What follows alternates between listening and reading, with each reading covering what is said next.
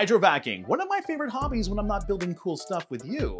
This is an industry that uses high pressure water combined with vacuums to be able to effectively and safely excavate the ground, and also clean stuff too, but mostly it's used for excavation.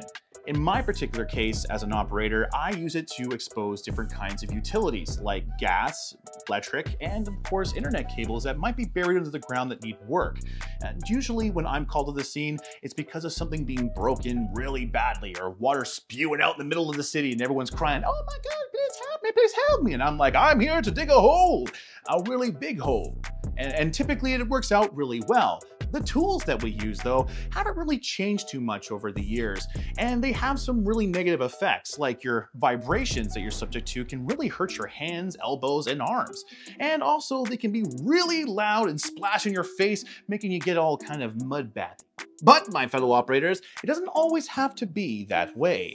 A company has risen from fellow hydrovackers to create something that's quite revolutionary. What is it? The Dig Pig Silencer. And this tip here is going to completely revolutionize the industry. How?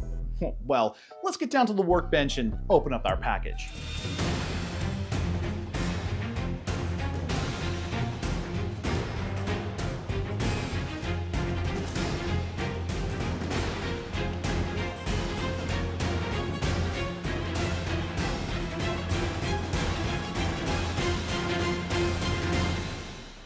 And boom, there we have it, the Dig Pig Silencer in all of its glory. And the first thing you might notice about this one is it's a little bit beaten up around the cover here. And that's because over the last couple of weeks, I've been giving this thing absolute hell to see if it can meet the expectation and hype surrounding it. And uh, spoiler alert, it absolutely does. This thing is an absolute feat in engineering and a revolution to the non-destructive digging category of hydro nozzles. This guy right here can do crazy stuff. And we're gonna get into it right now, starting with durability. The Dig Pig silencer is almost completely made of 303 stainless steel, and this high impact nylon plastic is one of the hardest I've ever seen. And let me show you what I mean by that. This right here is a traditional nozzle, and these are some very sharp tweezers. I can take uh, my tweezers here and very easily put them into the coating of this other nozzle and it stays pretty easily. Whereas with the Dig Pig one, um, we can put a lot of pressure into it and it doesn't really want to stay. As a matter of fact, it's bending my tweezers. That is how crazy hard this stuff is. Also, if we take my tweezers here, we can put them into the tip here and it goes right about there. We got about an inch of protection between the actual orifice and the tip here. Whereas the traditional tip is, uh, well, you can see the little spinner right there, but it's, uh, well, not very much at all, which means that this guy has a lot more protection going down to the actual spinner inside than any of the other ones I've seen so far. Let's go ahead and open this up and see what the inside looks like. Uh, typically, this little part here would be attached to your wand, so we'll just go like this. Boom. And boom. That's it. Here's your little rotor, does all the business in. And again, everything in here is completely metal, which is crazy. Even the rotor here is almost completely made out of metal, with the exception of this little high impact nylon plastic here. And then of course that little washer, but you already knew that. Now, one thing I wanna touch on real quickly here is this little carbide here on the end. This little hole is known as the orifice hole. This is a number 10 tip, so this is a number 10 size orifice hole. If a 12 would be here, it would be a little bit bigger, a 4 would be smaller. But what's really interesting about this right here is that typically on a normal hydrovac nozzle, the entirety of this little bubble here is completely hollowed out. Whereas with the Dig Pig silencer, we can actually put this right here and you can see that it's completely straight, meaning that this particular carbide is stronger than any of the ones in the industry, period. Go to your truck right now, go open it up and take a look at your tip. You'll notice that this little bubble here is completely hollow.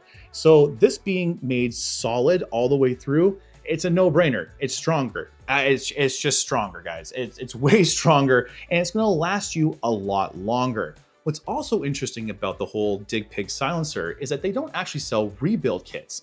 Yeah, I know. They sell refresher kits because the entirety of this thing is meant to last way longer than any of the traditional nozzles out there in the industry. What's really neat about this as well is you can order individual parts instead of buying the entire refresh kit if you just have one part break. Another really cool feat. Which actually brings me to another point.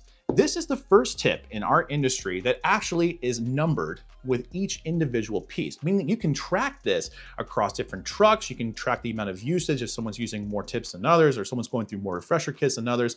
You can know all this information as well. It's a great thing for warranty. And one thing I have found is that both in warranty and customer service, DigPig outdoes everybody. If you have a problem with your nozzle, and I don't think you are, you're gonna be able to get somebody on the phone and they're gonna be able to help you figure the whole thing out almost instantly, which is a wicked thing to be able to have. And with the individual numbering, this means that as an operator, if you purchase one, you don't have to worry about somebody taking it off your truck. You can know which one it is just by opening up and taking a look at it, which is an awesome piece to think about. So not only are they numbered, not only is the entire thing almost completely made out of steel, this thing here is built a lot better. So overall, the durability of this particular tip is insane. And the fact that the whole thing is made out of metal is a no-brainer. It's stronger than any other tip in the industry. Now, when it comes to putting this back together, it's even easier. You put it on top here, and then we just go with this. We wait for a click, just like that. And now we can turn it into place. Another really cool point when it comes to durability is how this whole thing is filtered. Now at the top here, if we take off our ORB, which is an awesome piece by the way, this is designed by DigPig themselves. It has a little washer here. It just feels so premium. It feels, again, way better than any of the ones I've actually ever held before. And they're engineered not to be used with monkey wrenches, but to be used with your normal adjustable wrench, making them a lot safer. You're not worrying about busting any of your knuckles like you have before. These guys right here are just significantly better. Now, one thing that's really neat about this tip here is it has a really cool filter coin. The filter coin is meant to come out almost daily so that you can keep any of the debris that might find its way into the wand or through your water pump, depending on how old your truck is. I find that this screen is significantly better than those little pipe screens you get to fish out with your pinky finger. This guy is just heftier, better, and so far has blocked everything going into the nozzle. This thing is super clean. And again, the things that I've put it through, I'm surprised it's clean. So the thing is incredibly well built and super strong. How does it do in performance? Well, that's a great question. First time I fired this thing on the end of my wand and turned on the water, I was almost completely blown away by the amount of pressure I had. Typically on my truck, I operate my hydrovac nozzles at about 2,600 to 2,800. With this particular tip, that was just way too much pressure. You, you don't need it. Uh, with this particular tip, I found that about 1,600 to 1,800 seemed to be the optimal operating range of it. However, it is marked to go from 1,000 to 4,200 PSI.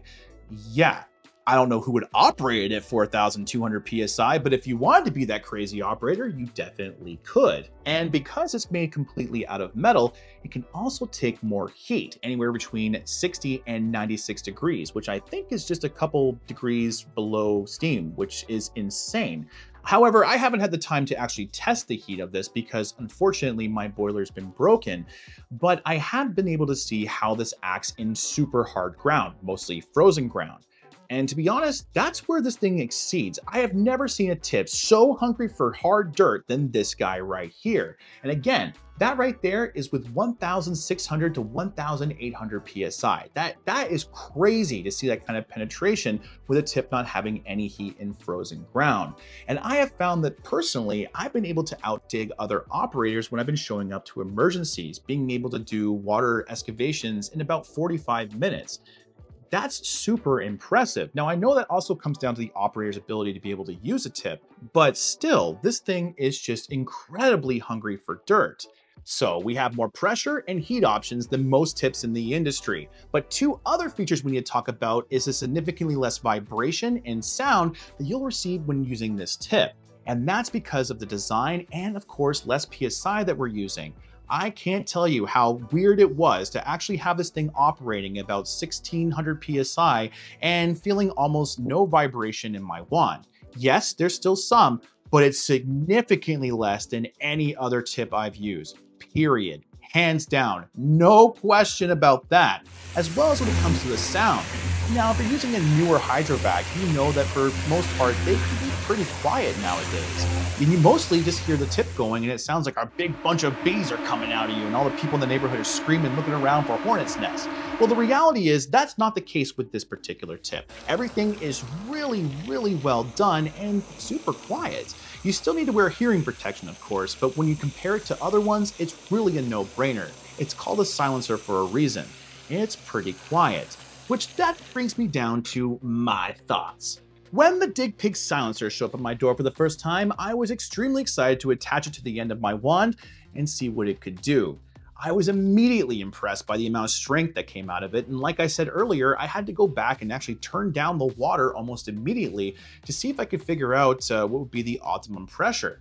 When I found that it was about 1,600 to 1,800, I really couldn't believe it. I mean, most tips definitely need to be in that 2,800 range to do any kind of damage to the ground. It's just not the case with this, and the significantly less vibrations that I was feeling in the wand was a big relief. As you know, that is one of the biggest complaints that most hydrovackers have when it comes to digging. Their hands become numb after a while. It's almost like riding a motorcycle and not wearing any kind of protective gel gloves. This guy right here has significantly less fatigue, especially for the operator, and with its construction being so solid, you're going to be using significantly less rebuilds, or I should say refresher kits, than other ones out in the industry. This one here is really a tip made for hydrovackers, and I've handed this to both experienced and non-experienced vackers, and they have said the same thing. They are immediately impressed by the way it digs and how crazy strong it is when it comes to putting it into the ground. Unlike most tips in the industry, when it comes to using a silencer, you can put it right into the ground and bash it around a little bit around the walls if you need to, where typical hydrovac nozzles need to be kept out of the ground, and you definitely don't want to smash any rocks with them them. They're kind of like using a Fabergé egg to dig. And that's just simply not the case with this one. And that's why I think that so many hydrovackers are going to be switching over to these tips in their truck. It's really a no-brainer. You don't have to worry about handing over your brand new wand to your swamper and worrying about them destroying the tip before you even have a day out of it. This guy right here can handle almost everybody. And if anything, I'll be impressed when it actually breaks because I want to see what is the straw that will break the camel's back. Finally, if you're in the hydrovac sewer or non-destructive digging field and you've been looking for a tip that's going to outperform and outlast any of the ones on the market, I don't think you have to look further than the DigPig silencer. It really is that good. And I'm confident that when you put one of these on the end of your wand and start using it, you'll be seeing the same thing. Have you used the DigPig silencer? Let me know your experience down below. I would love to know about it. And if you're new here, go ahead and press subscribe. It's got all kinds of really cool stuff coming out in the future, and I would love to have you there. Thank you so much to DigPig for sending me the DigPig silencer to test out and let me have my own honest opinion with you. These guys have been really awesome to work with, and I hope I get to check out some other products in the future from them to be able to share it with you guys at home. Until next time, keep building. All right, now you're going right back into the wand. We got some digging to do.